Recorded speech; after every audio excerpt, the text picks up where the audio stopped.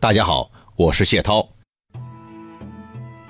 接着上一回，继续为您说，曹操在公元二一七年三月撤军了。他以前是异常好勇斗狠的，但是在赤壁之战以后，心里留下阴影了，他就开始转风格了。具体来说是欺软怕硬，对弱的像是张鲁啊、马超他们毫不留情，对强的。像是孙权、刘备这样的硬骨头，他的做法就是啃两下，啃不动就算了。不过，虽然他撤军了，但他依然留下了夏侯惇带着曹仁、张辽等等一共二十六支军队在居巢那守着。从这个部署来看，他仍然把孙权当成目前头号敌人，手底下能打的名将基本上都留在东南前线了。当然，他回家以后不是说自己勉勉强强的和孙权打了个平手，他更愿意说孙权现在已经向自己投降了。啊，以前用兵多次，拿孙小儿没办法，但现在呢，孙权已经主动向自己投降了。这不仅仅是一次军事上的胜利，更是一次外交上的胜利。有了这两个胜利当包装。他就更有理由向上再升一格了。这一年四月，回到邺城以后，汉献帝刘协非常情愿的下了一个诏，让魏王操设天子旌旗，也就是宣布曹操即日起可以用皇帝专用的旌旗，出入的规格标准和帝王一样，要实行全面戒严和清道，啊。规格呢是完全提升到皇帝那个档次了，也就是说，现在的曹操与汉献帝之间的区别，除了一个帝王尊号之外，基本就没啥了。从这个角度讲，曹操还得在心里谢谢孙权呢。你这闭眼小儿，这个投降还来得真及时嘛！好了，曹老大在规格上不断向皇帝的规格靠拢。同时，也得考虑另外一个很重要的问题了，那就是继承人。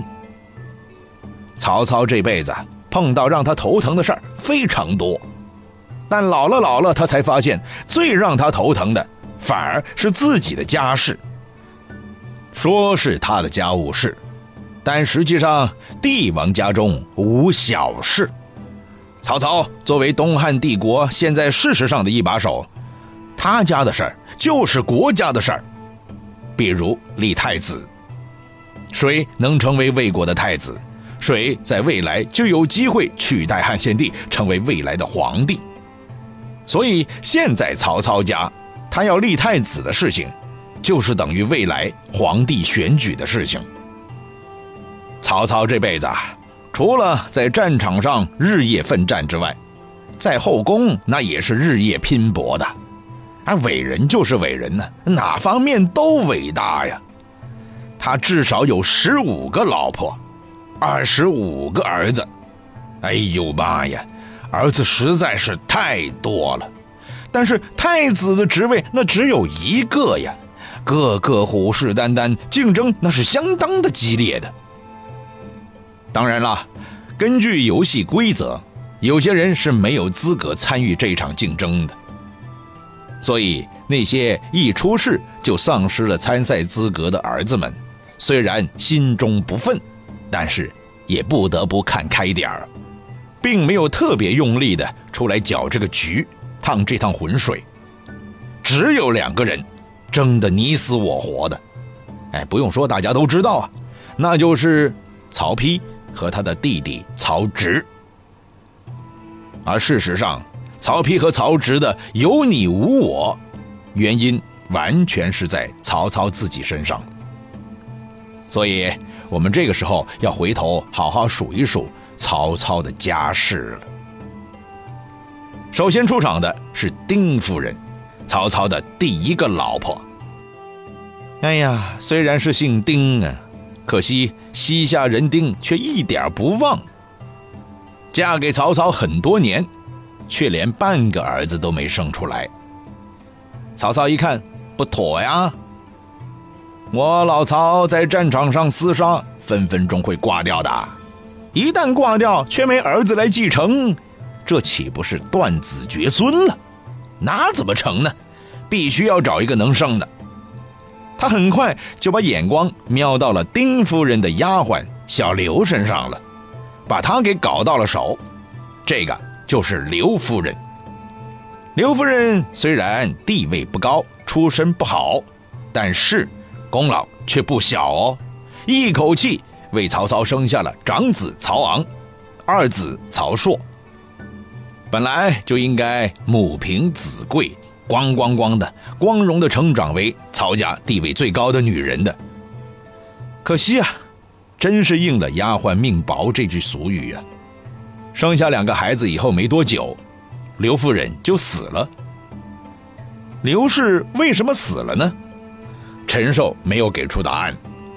有人认为。是刘氏生那个儿子曹硕难产而死的，但是也有另外一种说法，说刘夫人的死很可能是丁夫人在搞小动作。这种事情很好理解，而且也不是第一次发生了。丁美女虽然号称第一夫人，是曹家妇女界的当权者，但她没儿子。很多皇后因为没有儿子，结局很悲惨。丁夫人别的水平也许不怎么样，但在这方面看的应该很精通的。现在自己没儿子，自己原先的丫鬟有了两个儿子，在那样的家庭里，儿子可以改变一切的。所以为了保住在曹家的地位，只能把刘夫人搞定。于是这个刘氏就完蛋了。刘氏一完蛋，曹昂就成了没妈的孩子了。于是曹操。就安排丁夫人去养这个儿子曹昂。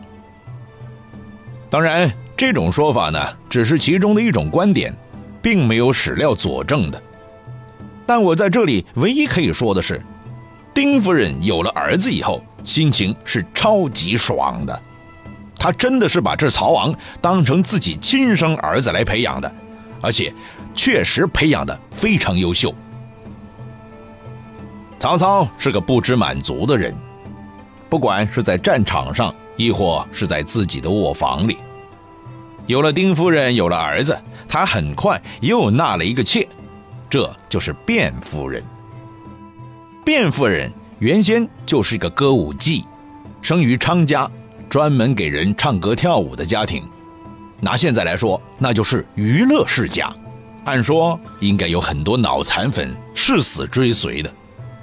可是当时是汉代啊，这种家庭地位不高的，所以啊，卞夫人刚进曹家的时候啊，是没几个人能看得起的。可是偏偏这卞夫人呢，肚子很争气，是一位英雄母亲，生育能力超级强的，一口气生了曹丕、曹彰、曹植、曹雄四个儿子。这当中，除了曹雄很早夭折之外，剩下的曹丕、曹彰、曹植，个个都是风流人物，十分了得。这也为后来卞夫人升格成为武宣卞皇后打下了坚实的基础。不过在当时，丁夫人还在呢，所以卞夫人也没想这么多。而且吧，据说卞氏进了曹家以后，七八年之后才开始生儿子的。在这个时候，当初刘氏生的两个儿子。曹硕很早就病死了，而曹昂呢，已经顺利的长到了十岁。这里就有个疑问了：八年时间没动静，一开始生就连生四个，卞夫人又不是一个什么机器人，打开一个开关就开始下蛋了，不可能嘛？他是一个活生生的人呢，为什么头七八年生不了，后七八年你就拼命的在生呢？也许有朋友嘿嘿一笑。哎，这是避孕措施做得好啊！哈，这一点呢，您可真是想错了。曹操当时只有一个儿子，还成天带在身边的，到处征战，这是风险非常大的事情啊！事业越来越强，后代却非常单薄。为了加强这个薄弱环节，他甚至还把自己的侄子曹安民天天带在身边。当然，他没有宣布曹安民成为自己的儿子，但曹操的打算是很明确的：如果再不生个儿子出来，那么曹安民就会成为曹王的兄弟，双保险嘛，不是？只是曹操万万没想到，这个双保险在后来争张绣的时候，一口气全报销了。在这种情况下，你说曹操会不会主动避孕呢？他恨不得开枝散叶，到处播种呢，还避孕，生不出儿子，他想辟邪才是真的。那么有没有可能是卞夫人不愿意生孩子呢？有可能，因为他知道丁夫人在上面压着呢。如果自己生了儿子，命运会不会像当初的刘氏一样呢？这个可真不好说。毕竟自己的地位和当初做丫鬟出身的刘氏太像了，所以卞夫人情愿不情愿的，主动不主动的去找一些药物，让自己的身体生不了孩子，这是有可能的。但既然这么说了，更有一种可能，就是丁夫人也在下手脚，信别人不如信自己，对不对？我直接让你卞夫人生不出来了。我养大的曹昂不就成了曹家的唯一继承人了吗？当然，以上都是推测，没有史料当佐证的。但是，这些推测在当时的环境下，并不是天方夜谭。那么好吧，既然已经做了手脚了，卞夫人生不了了，但到后来又放开了生呢？为啥这个时候卞夫人又不怕丁夫人了呢？其实啊，不是卞夫人怕不怕的问题，而是丁夫人不想再坚持下去了。她已经开始超级自信了，因为她很快发现自己养大的曹昂是个很优秀的同学，不但水平超高，而且人品超好。哎，想来也是，如果他不是人品好的话，打张绣的时候他怎么可能舍身救老爸呢？不但内在美啊。外在也很猛啊，体格强悍，肌肉发达，打仗的时候冲锋陷阵，半点问题都没有啊，那是典型的文武全才呀。这样的儿子，曹操不喜欢就怪了，所以啊，打仗的时候啊，就常常把他带在身边，一来是培养儿子的能力，二来也是天天看着心里欢喜嘛。这就是我未来的接班人，瞧瞧，大家伙都瞧瞧，好不好？猛不猛？牛不牛吧？如果那一次征张绣的时候，曹操不是色令智昏，不计后果的去发挥自己的俄狄斯纲的恋母情节，去泡张绣家的婶子，那么曹昂也肯定不会牺牲的。如果曹昂那个时候不是为了救老爸英勇献身，这个继承人就不是问题了。可问题是，曹操是史上著名的好色男人，看到美女就走不动路的，哪有见到不泡的道理？好了，如果曹昂不死，历史就会另外一副模样了。之后的司马代曹出现晋，到底会不会实现呢？真的是可以挂一个大大的问号了。曹昂一死，悲伤的不仅仅只有曹操。丁夫人更是彻底崩溃啊！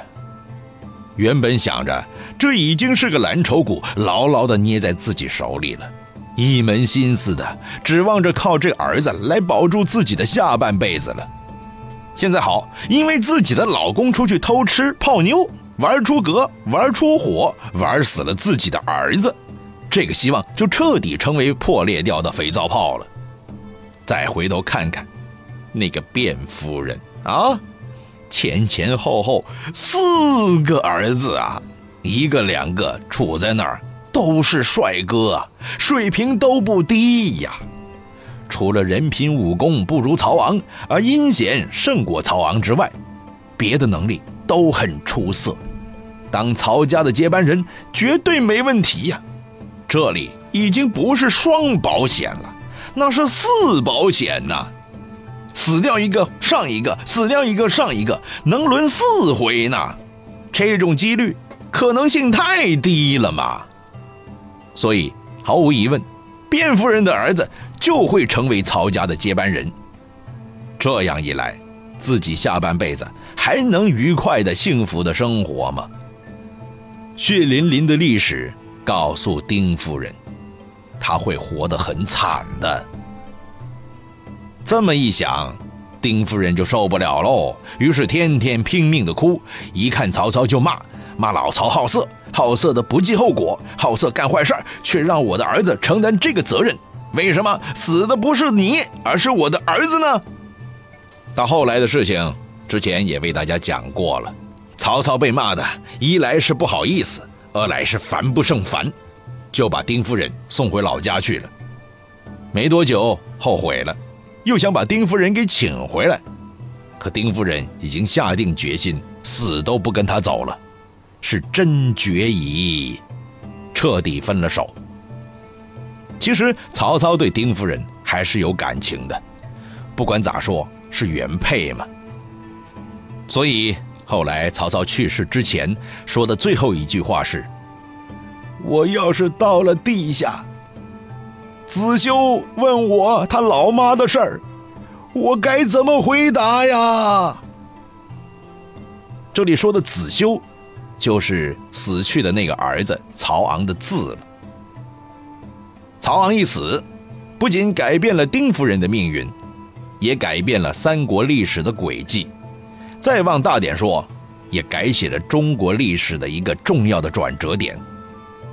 当然，最直接的效果，就是改变了曹丕和曹植的命运。在曹操的意识里，虽然他认为汉朝已经腐朽的不堪重任了，迟早是要被取代的，不是我曹家，就是人家孙家或是刘家。但即便如此，曹操的潜意识里，他是不会当皇帝的，他不愿意背这个历史的骂名，他到死都是以汉臣的名义去死的。但这不等于自己的儿子不当皇帝哦，他一定要让他的继承人成为魏朝的开国皇帝，这一点很明确。他也明白，要是立一个废人当继承人，在这一个比一锅粥还乱的时代里。肯定混不了两天，就会被人打翻在地，然后再踏上一只脚，让他永世不得翻身的。所以在选这个继承人的时候，那个所谓的立长立嫡的惯例就可以忽略一下了。反正曹操这么做也不是第一次了。比如选拔人才，他就是唯才是举，德行这些东西可以放在一边不考虑的。既然对人才都可以这样了。对自己儿子们的选材，为啥不能这样呢？我呀，要选一个更有人品和水平的继承人。那么，在这一大堆的儿子当中，谁是最得曹操欢心的人呢？下一次，接着为您说。